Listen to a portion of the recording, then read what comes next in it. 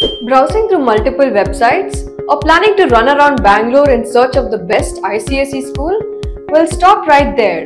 Introducing New Horizon Public School. Established in 1982, the New Horizon Public School has more than 40 years of expertise in providing high quality education and the best learning environment to support the overall development of every student. The school is located in Indiranagar, in the Garden City of India, Bangalore.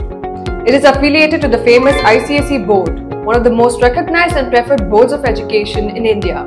This prestigious school offers classes starting from nursery for toddlers up until grade 10.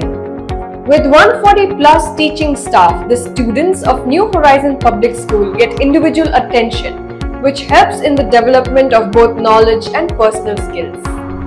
Convinced to enroll your child in this renowned school? Then reach out to get started. Admissions for 2024 to 25 are now open.